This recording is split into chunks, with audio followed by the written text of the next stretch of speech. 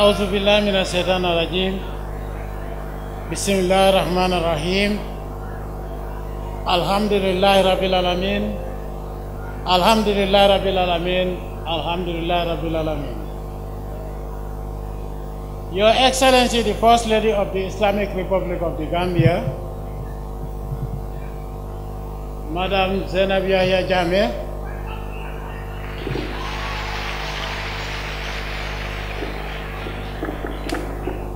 the Honorable Speaker of the National Assembly, Honorable Chief Justice, Honorable, Mem- Honorable Ministers, Honorable members of the National Assembly, service chiefs, Honorable members of the Judiciary Bar and Bench, Your Excellencies, members of the Diplomatic and Consular Corps, Honorable Ministers, our distinguished guests, representing broader heads of state of the sub-region, regional governors and Lord Mayors, the Paramount Seyfo, Seyfolus and Alkalos, venerable religious leaders, Yai companions and party militants of the APRC, distinguished guests, ladies and gentlemen, boys and girls. Today, Friday, 22nd July 2016, marks the 22nd anniversary of the glorious July 22nd Revolution, a historic and momentous occasion to reflect on the great achievements that the July 22nd Revolution brought in all development facets since 1994 and where we envisage to be in the future. It is also a moment to reflect on the triple 22, that is the 22nd anniversary, that is the 22nd year of the July 22nd, and that's the 22nd of July 1994.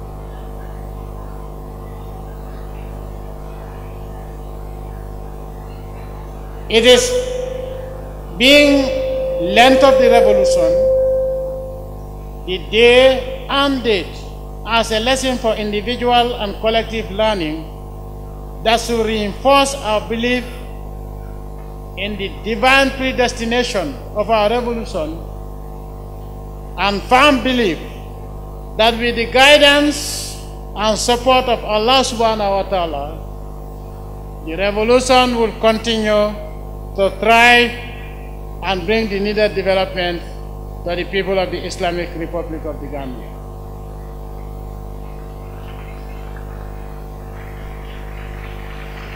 Distinguished ladies and gentlemen, responding, in responding to the numerous challenges that face our collective efforts to attain socio-economic development, my government implemented numerous strategies and interventions that have contributed immensely to the attainment of our development aspirations in agriculture, education, health, energy, women empowerment, rights of the women and children, improved roads and transport infrastructure, among other laudable achievements that we continue to celebrate with great pride. Despite the remarkable gains registered by my government in the attainment of food self-sufficiency,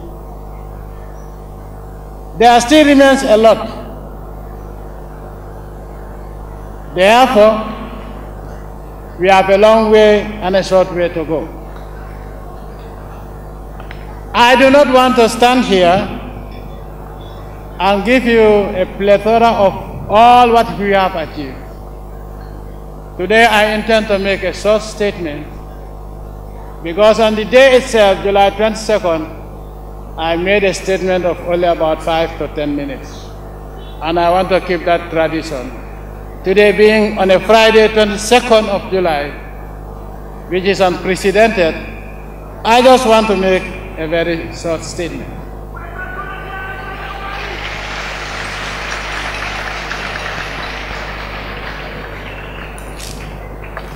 I want to take this opportunity to thank everyone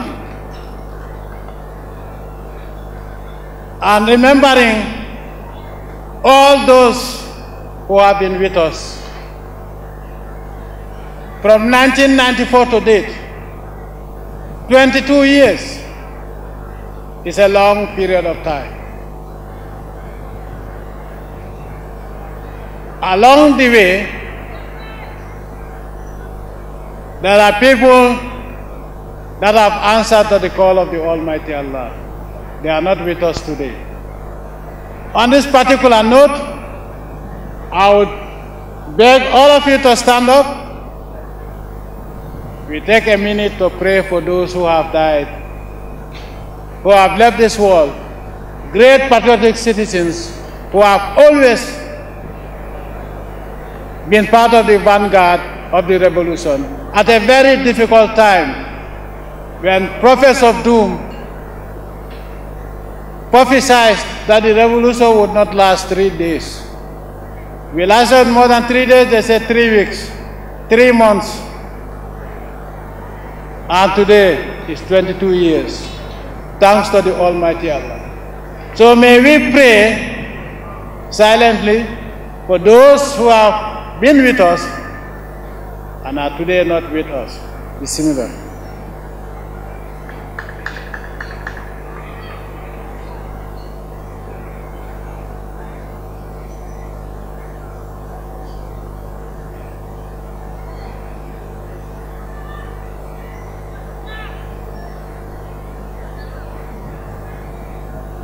Alhamdulillah Rabbil Alameen. Thank you. May you please sit down.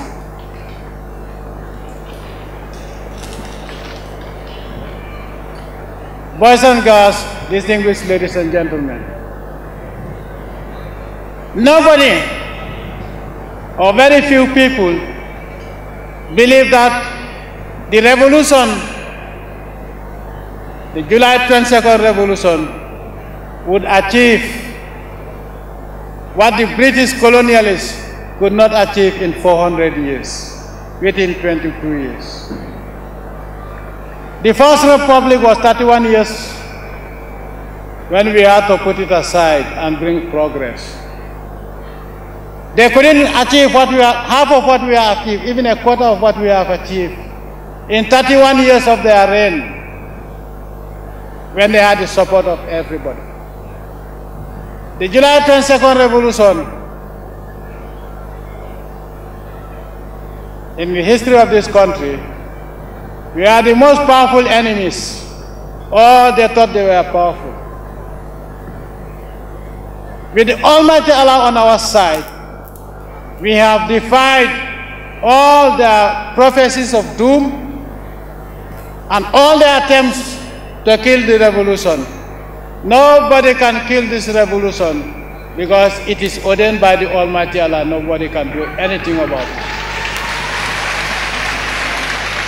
On this particular point, I want to thank all those nations who stood with us from day one and continue to stand with us in solidarity with mutual respect, us along the way without any strings attached. I made it very clear on July 22, 1994 the Gambia will not and shall never be colonized twice. We shall never be enslaved twice.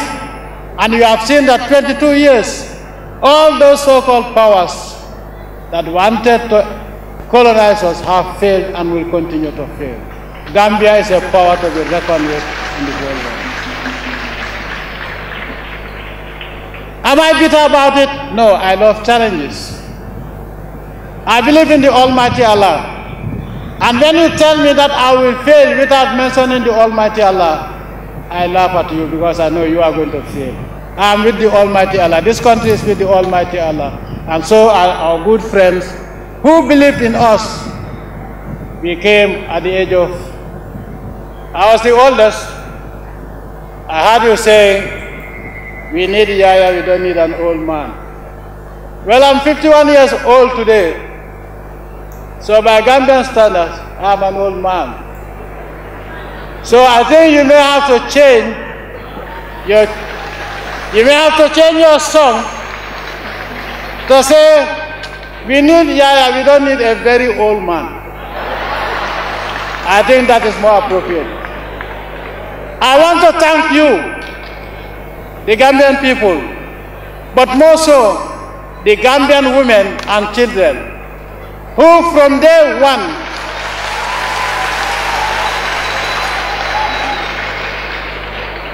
believed in us. Some of them were divorced and they never yielded in their support for the revolution. May the Almighty Allah reward you. Our achievements today is thanks to the Gambian women and youth. In all the projects of the revolution, the women were at the forefront, and up to today, you are still at the forefront. No project would succeed without the full participation of the Gambian women. Gambian women, I'm proud of you, but I've also made you proud women in Africa. The theme is women empowerment, women and youth empowerment. There is no country in Africa, in fact, very few countries also in the world, that have empowered women and youth the way the revolution of the Gambia has empowered men, women, and children in this country.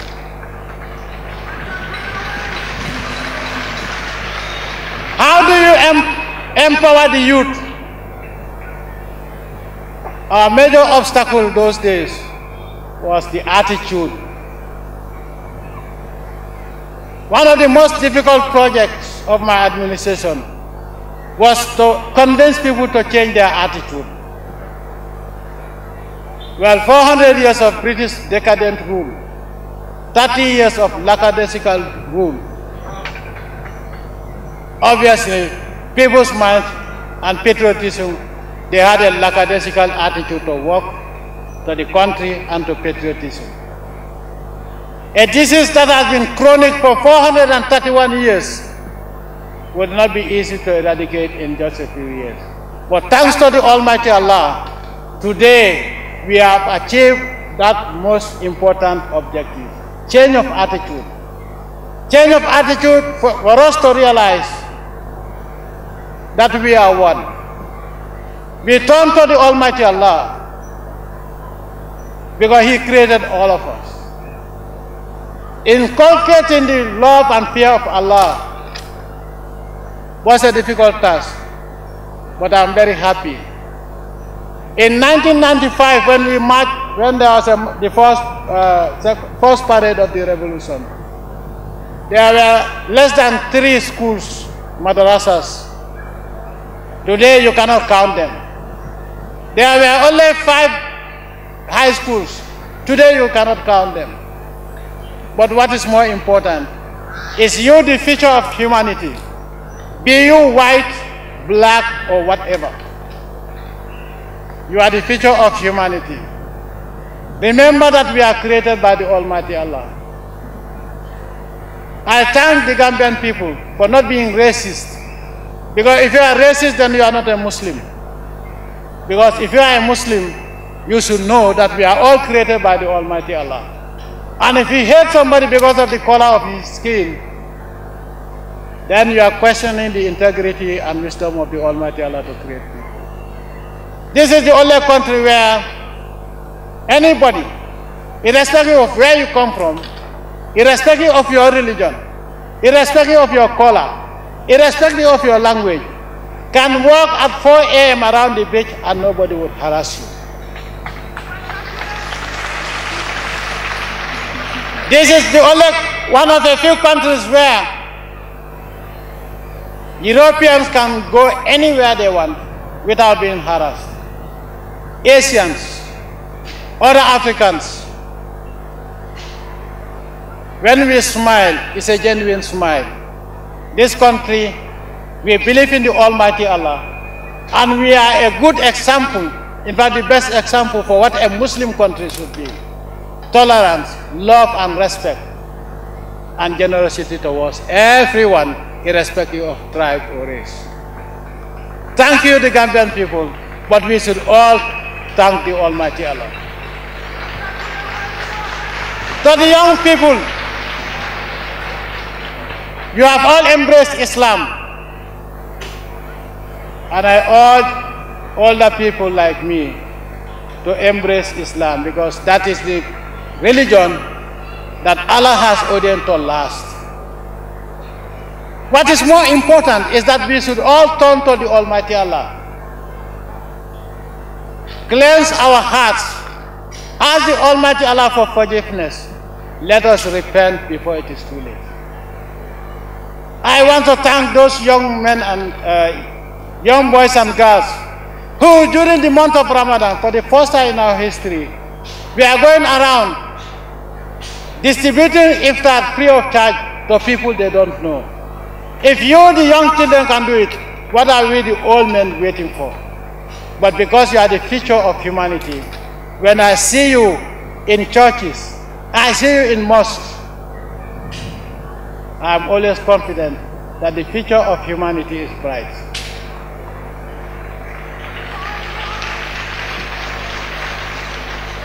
I will urge the whole world to learn from the Gambia. Racism has no place in the 21st century. You cannot be a good Christian or a good Muslim and hate others. Then you are not a Muslim. Because if you are a Christian, you know that Allah created us. And all of us are descendants of Adam and Eve. You are a Muslim, you know that Allah uh, created us. That is why we are called Bani Adam. So be you black or white, be you tall or short, handsome or otherwise, beautiful or otherwise, you are a human being and all human beings, 99% of human beings have five fingers and two ears, eh, two nostrils. Black or white, your blood is red. That tells you a lot. Black or white, your teeth are white if you take care of them. Black or white, your bones are white. Black or white, you have a language and you can speak and communicate with anybody. This is showing us that we are all created by the same God and therefore we should live in peace. Those who embrace violence against other people of different color, I will urge them to repent because they are offending the Almighty Creator. Don't hate somebody because of his color.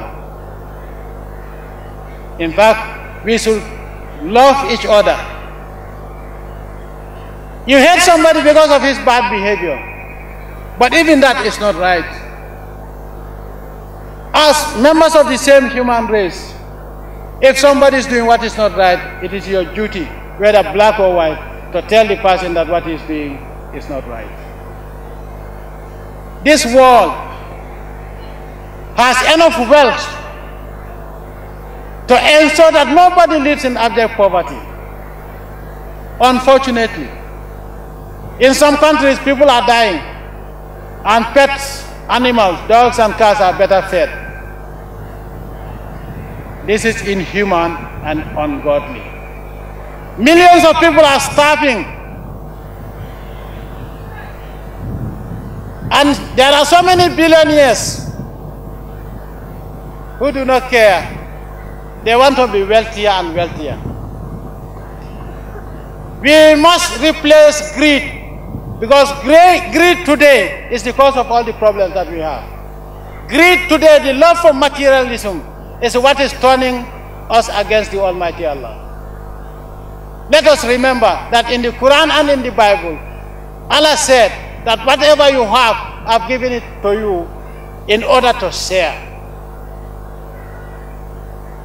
And He said, no matter what you have, remember that we, we, that is Allah in the Quran, we are the inheritors. And that is why, no matter how wealthy you are, you are a billionaire or a, trillion, a trillionaire, when you die, if you are a Christian, your coffin will cost less than $100,000. If you are a Muslim, the shroud will cost less than $150. All your billions are left behind for others to enjoy. Nobody will be buried with your wealth. So why keep it and look at people suffer because you want a big name? Allah has given it to you to share. And if you don't use it correctly, you're going to lose it. Is it worth it? You lose it here and then lose in the next world. Boys and girls, fellow Gambians and our distinguished guests, what is happening today, even the devil, Satan, looks at humanity today and bows down his head in shame. He looks at himself and says, Can I be as evil as Bani Adam? Today, seven year old kids are being taught not to love but to kill human beings. There is no religion that encourages the killing of innocent people, or people for that matter. Allah said in the Quran that if you kill one person, one innocent person, he didn't say Muslim or Christian. If you kill any innocent person, you will be treated as having killed all of the human race. The Prophet Sallallahu those who are parading today, I will not call them Muslims, they are not Muslims. They don't represent any religion of God, be it ancient or modern Islam. You go to the mosque on Friday with, with explosive attack to your body to kill worshippers. The mosque is the house of God. The church, anywhere where Allah is mentioned and praised, is the house of Allah. The Prophet ﷺ in his jihad has never bombed a synagogue, has never killed people in a mosque or in a church. He never demolished one. Who are we today to say that the Prophet ﷺ was wrong and that we should be killing innocent people and they say Allah Akbar. Thank God, Allah cannot be fooled. All those people will end up in hell by the grace of the Almighty Allah. I do not want you. We have developed so rapidly in 21 years. It would have taken the British 4 million years to reach this stage. And Jawara's government, maybe three, three and a half million years. But we have reached this stage despite all the odds, thanks to our belief in the Almighty Allah. Remember in 94 when I told you EU that my World Bank would finance my project and they laughed. They looked at me. And they said, well, you are so, the World Bank and IMF will not give you anything. I said, that's your World Bank. My World Bank is the Almighty Allah. And this country will be developed to a point where you will be wondering, how am I getting the money? Because you don't believe in God. And this is what has happened today. Because I believe in God and I will continue to believe in God. But let you, the young people, Remember always that the same Almighty Allah that created you created the person whose skin color is different from yours or who is worshipping uh, Allah in a different religion. In fact, Allah has made it very clear that being a Muslim, you should not kill anybody who, does, who is not a Muslim. In Surah Al-Kafirun, Allah has passed his judgment. You will not believe what I believe, I will not believe in what you believe. You will not worship what I worship. I will not worship what you worship. To each of us, your own way. Worship whom you believe. I worship whom I will. The Quran never says kill those people who are not Muslim. After all, if Allah wanted, everybody would be a Muslim. So who are we to take Allah's place? When Allah has taught that leave people to worship what they believe in, you worship what you believe in as a Muslim. So those people, unfortunately, are called Islamic. In fact, Islam is one. There's nothing like moderate Islam, radical Islam, jihadi Islam, or the strictest form of Islam. The Quran is one since the Prophet ﷺ put it. So there's nothing like it. the strictest form of Islam or moderate Islam. Islam is Islam and you cannot change it. And what does it mean? The total submission to the will of Allah. Young Gambians, we are the future of this country and the future of humanity. Forget tribalism. Forget that there are people a, who worship Allah different from you. What is important is let us all worship Allah in what we believe in. I am proud of being a Gambian. I am proud of you, the Gambian people.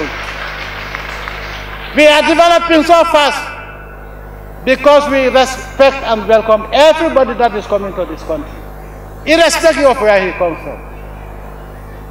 And because this is what Allah wants of us, as true Muslims and Christians, we shall always prosper. But I want the whole of mankind to learn lessons from the Gambia. And those who do not know anything about religion, those terrorist organizations, most of them are, drunkards and are still drunkards. They don't know any religion, most of the Islamic faith. May the Almighty Allah wash their hearts, turn them from Satan, and put Iman in their lives. Let them repent for all the atrocities they are committing, desecrating the name of Islam. Muslims must, be, must look like Gambians, must behave like what we, how we behave in the Gambia. As long as we have Allah on our side and we worship the Almighty Allah, the one and only, fear nothing. This country, I told you Vision 2025, that by 2025 we will become an economic superpower. Let me tell you, don't clap because you don't know what I'm going to say next. Would you be happy if I say 2035? No, right? We will become an economic superpower before 2024. Why? Because we have the resources. And we have attained the change of attitude that I've been looking for. On this note, I want to thank all our brothers and sisters that have come to join us. Our brothers and sisters from the People's Republic of China, Sierra Leone, Guinea-Bissau, and other countries. This is what is expected of humanity, whether African, Asian, or European. We should work together and fight the scourge that is burning humanity. The scourge of racism and the new ungodly phenomenon. I know my Chinese brothers are here, and they are the only country where you find the giant panda. And to bring the giant panda from extinction they have a, a breeding program. And in this breeding program, they put a female panda and a male panda.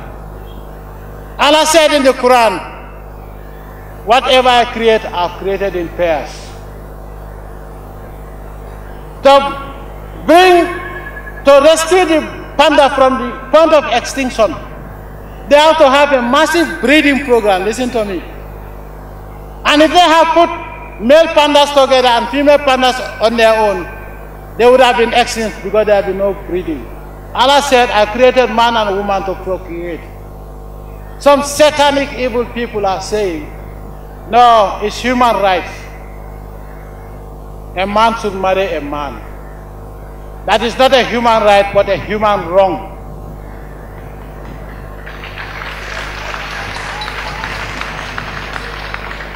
And you young people, always remember this, that the pandas are around because of a breeding program. You are children because you know what happened. Now, if you decide that God was wrong to say a man should marry a woman,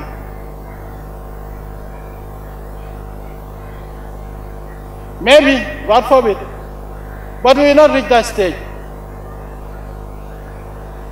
If you continue like that in the next 10 years, nobody will stand here and tell you boys and girls. Do you know that? Even cattle, animals, even insects respect Allah more than we, the human being. The easiest way to make any cre uh, creatures extinct is let for example, cattle. If you put all the bulls together and cows together, there will be no milk, there will be a shortage of milk. And a lot of you will suffer from kwashiorkor. Do you want that? So we are who we are today, thanks to our parents, a man and a woman. And if you want to have humanity continue, we must shun all these evil ideologies in the name of human rights. There is no human right that endangers human existence. So it is a human wrong for a girl to think that you don't want a man, you want a, another girl. Facebook, that's very close. I'm not saying you should not be on Facebook. But respect yourself and respect your parents. Know that if you appear naked on Facebook, you will not have a good husband. You will have a Facebook husband, and that means your marriage is phased. Phase one, phase two, you are divorced, and you are in the street. Let us fear Allah. You should not put pictures that tomorrow your children, when they say, Mommy, are you the one who is like this, and you say, oh, you are not supposed to see this. Whatever you put on the internet, you have no control over it. Obviously, I saw people that were selling food. And I know they cover the food. If it is exposed, everybody passing by, who's going to eat it? So if you want to have good husbands, you must cover yourself like the food. Because nobody is going to take, look at you and say, oh, I saw her on TV, uh, on Facebook. Why did Allah ask us to have a dress? There are parts that are sacred. That is for the eyes of your husband only or your wife only.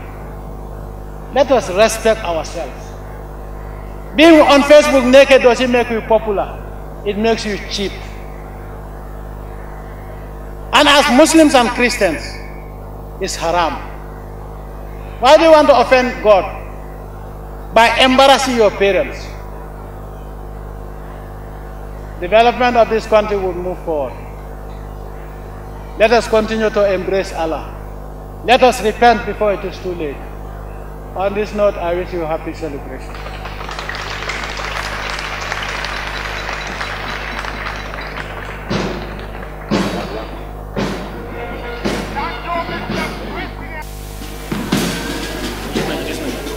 That was His Excellency, the President of the Republic of the Gambia, with the address to the nation at large.